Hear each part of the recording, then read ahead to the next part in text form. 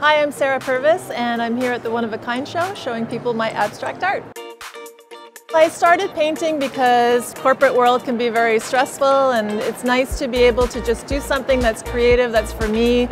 Nobody's telling me what to do. I'm actually a graphic designer as well. But recently I've started going back to my roots and painting again and it just makes me feel good.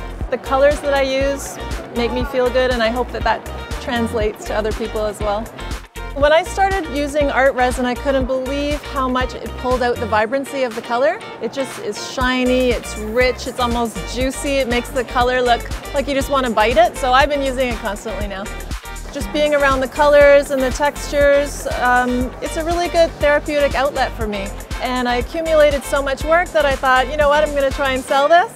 And turns out that my work makes other people happy, so it all worked out in the end.